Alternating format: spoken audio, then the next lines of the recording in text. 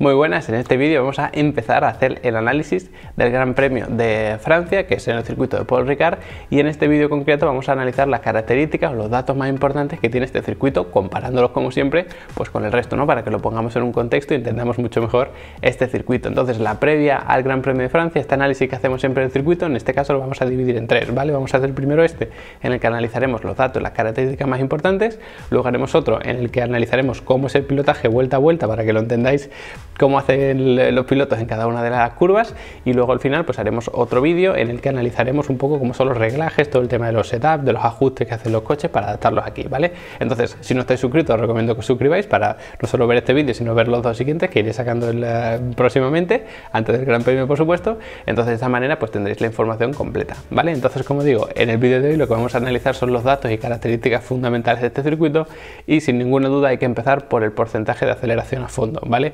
Es un circuito en el que se pasa mucho tiempo por vuelta acelerando a fondo, no solo porque tiene varias rectas importantes, sino porque además hay muchas curvas que se hacen completamente a fondo, ¿vale? Son de velocidad muy alta y se pasa incluso, aunque estés dentro de una curva, acelerando a fondo, ¿vale? Con ese pie a tabla, como se suele decir. Entonces, no solo tenemos un porcentaje de, de vuelta, digamos que metros de circuito muy alto, acelerando a fondo, sino que en tiempo por vuelta también, ¿vale? Entonces, bueno, pues como veis son circuitos de los que más tiempo se pasa acelerando a fondo, si lo comparamos con cualquiera, así que mucho ojo con esto porque fue una de las principales causas de eh, esa explosión o ese reventón de los neumáticos en el Gran Premio de Bakú, que fue, eh, recordáis, no por un desgaste, sino porque eh, se alcanzaban velocidades muy altas con unos neumáticos que, bueno, pues que a lo mejor tenían presiones muy al límite de lo baja que eran, en fin, sigue estando un poquito en el aire ese debate, pero fue sobre todo por las altas velocidades y aquí se alcanzan, ¿vale? Así que mucho ojo con eso. En cualquier caso, pues como podéis imaginar, pues tienen muy pocas curvas, aunque ya hemos dicho que algunas hacen a fondo, pero en total son muy pocas y gracias a eso pues se consigue tener un porcentaje de vuelta tan alto acelerando a fondo, ¿vale? Entonces, en total son 15 curvas, que son muy poquitas, y además está un poco desequilibrado en cuanto a cuántas curvas tienes a izquierda y cuántas tienes a derecha. Es un circuito en el que se corre en sentido horario, entonces hay más curvas a derecha y además hay bastantes más, ¿vale? Además, sobre todo las que son de velocidad media y velocidad alta son a derecha, lo que pasa es que dos curvas que son tras una frenada fuerte y son em, hacia la izquierda, entonces ojo con el neumático delantero derecho porque ahí en esos dos puntos clave que lo, lo analizaremos mañana cuando veamos el pilotaje, pues puede sufrir mucho, pero luego eh, en general el lado izquierdo pues también sufre bastante porque hay muchas curvas de mucha velocidad hacia la derecha, ¿vale? Así que ojo con eso. En cualquier caso, ya hablaremos un poquito más adelante de los neumáticos. Si seguimos con el tema de las curvas, si hacemos un ratio de cuántas curvas por kilómetro de circuito tiene, son muy bajas, ¿vale? ¿Por qué? Porque no solo tiene muy pocas curvas, como ya hemos visto, sino que además tiene una longitud del circuito bastante alta, ¿vale? Es uno de los circuitos largos, un poquito más corto que el de Azerbaiyán, que el del Gran Premio de Bakú, pero sigue siendo de los, de los largos, ¿vale? Son un poco más de 5,8 kilómetros y eso hace que sea uno de los circuitos largos. Entonces, si tienes un circuito muy largo y muy poquitas curvas, pues el ratio de curvas por kilómetro del circuito se te va por debajo de la media, ¿vale? Luego, pues eh, aunque sea un circuito muy largo, pues no tiene una mm, distancia entre la pole y la primera curva excesiva, así que es bastante larga, son casi 600 metros, o sea que ahí da tiempo a que pase mucha cosa en la salida, pero bueno, no es de estas eh, salidas que son eternas hasta la primera curva, ¿vale? En cualquier caso, como digo, son casi 600 metros, entonces sabiendo que hay un par de zonas de DRS que más o menos se puede adelantar, ojo, no es facilísimo adelantar, ni mucho menos, como se ha visto estadísticamente otros años, pero sí que hay posibilidad de adelantamiento, ¿vale? Y si a eso le sumamos que la distancia hasta la primera curva pues son 600 metros, digamos que la clasificación no es que pase un segundo plano, pero sí que no es excesivamente importante, ¿no? ni mucho menos como en Mónaco o como en Barcelona, por ejemplo, ¿vale? Sino que aquí, pues aunque clasifiques un poco más adelante de, digamos que de las posibilidades de tu coche, ojo con la salida porque tienen muchos metros para luego eh, tirarte, ¿vale? Además, mañana en el análisis del pilotaje veremos cómo hay varias trazadas posibles, una zona muy ancha, entonces, bueno, no solo que tenga mucho espacio hasta la primera curva, sino que luego en la primera y segunda curva también se te pueden colar, así que, bueno, mucho ojo sobre todo con la salida salida y sabiendo que la clasificación pues no significa nada hasta que no se pasan esa primera y segunda curva. Y hemos hablado del acelerador, hemos hablado del trazado en sí, hemos hablado de las curvas, entonces toca hablar por supuesto del freno, ¿vale? Que siempre va un poquito de la mano. Es un circuito en el que se frena bastante, lo que pasa es que no se frena muy fuerte, ¿vale? Entonces el porcentaje de vuelta que tú estás tocando el pedal del freno sí que es bastante alto, pero porque hay muchas curvas en las que vas en giro, entonces lo que haces es no pegas un pisotón fuerte, sino que vas durante bastantes metros pisando un poquito el pedal del freno, ¿vale? Es decir, si tú tienes que bajar pues 100 eh, km por hora eh, en línea recta es mucho más fácil que cuando estás con el volante girado. Entonces, si estás con el volante girado tienes que pisarlo más flojo y durante más tiempo, ¿vale? Para reducir esos 100 km por hora o lo que sea, ¿vale? Como ejemplo.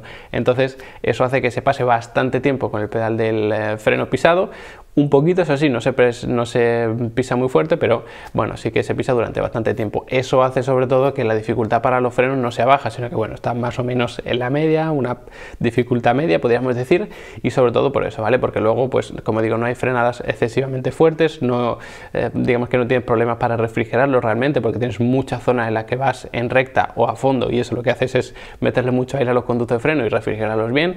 Entonces, bueno, en cualquier caso sí que tiene bastante frenadas, como digo, no son muy fuertes Fuerte, fuerte, podríamos considerar una a lo mejor, bueno, quizás la de la primera curva, también quizás la de la curva 8, como veremos mañana, pero bueno, eh, podemos decir que una o dos frenadas son muy fuertes y luego el resto son frenadas más o menos normales.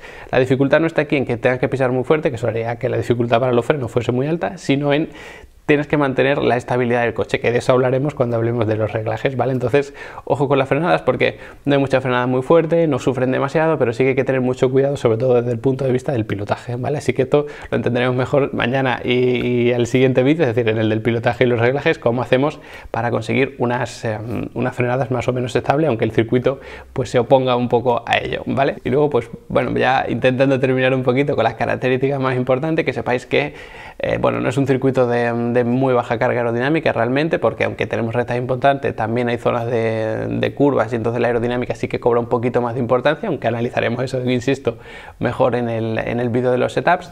Y luego, pues esto de que tenga curvas de tanta velocidad, de velocidad media, de velocidad alta, hace que las fuerzas laterales sí que sean bastante importantes, ¿vale? Entonces, mucho ojo con esto, porque esto cambia radicalmente respecto al Gran Premio de Bakú. Aquí, en el Gran Premio de Bakú eran velocidad baja media y aquí son media alta, ¿vale? Entonces, aunque sí que tenemos rectas importantes y zona revirada, la de Bakú era, eh, digamos que esa zona revirada eran curvas muy cerradas y aquí son curvas muy abiertas. Entonces eso lo cambia prácticamente todo, tanto en el estilo de pilotaje como en los reglajes. Así que mucho ojo con esto. Y lo que provoca también, por supuesto, que tengamos estas fuerzas laterales, ya pasando al tema de los neumáticos, es que sufran bastante estrés, ¿vale?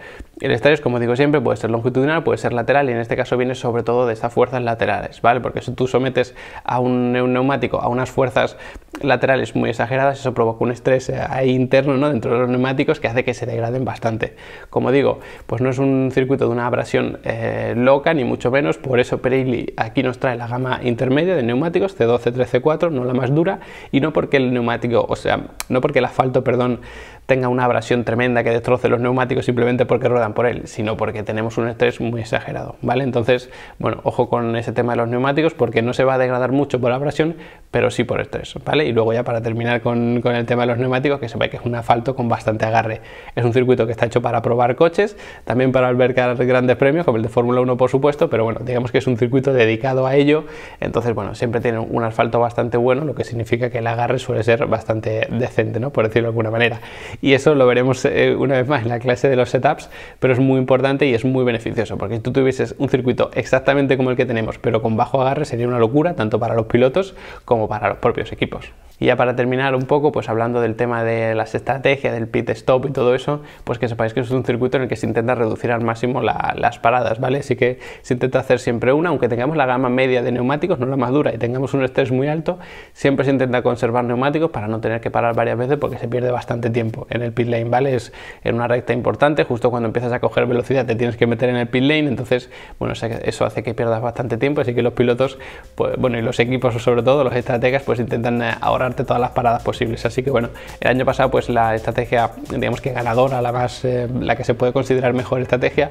fue pasar de medio a duro, así que probablemente este año se intente algo parecido, ¿vale? Sobre todo si los equipos de cabeza, los que van mejor, son capaces de pasar a Q3 con el neumático medio, así que mucho ojo con eso porque será bastante importante la, estrategia, ¿vale? Si no sabéis muy bien cómo va el tema de las estrategias en Fórmula 1 y tal y estáis todavía un poquito despistado, pues os recomiendo el curso de Fundamentos de la Fórmula 1, el Level Up Academy, ¿vale? Porque ahí repasamos no solo cómo se organiza la Fórmula 1 de arriba abajo, cómo se distribuyen los equipos cada sesión y tal, sino que dedicamos una clase y de las más largas además a las estrategias de carrera. Así que para los que estáis apuntados, pues os podéis revisar simplemente esa clase, que ya sabéis que la hacemos, intentamos hacer la clase concreta para que la podáis consultar individualmente. Y a los que no estéis apuntados, pues os recomiendo que os apuntéis, por supuesto, que ahí os enseño todo lo que necesitáis sobre Fórmula 1, sobre estrategias de carrera y de un montón más de cosas de automovilismo, ¿vale? Así que nada, hasta aquí el vídeo de hoy, muchas gracias a todos por quedaros hasta el final, no olvidéis suscribiros lo que no lo hayáis hecho ya para no perderos los siguientes vídeos análisis del Gran Premio de Francia, del circuito de Paul Ricard y nada, pues nos vemos en el siguiente.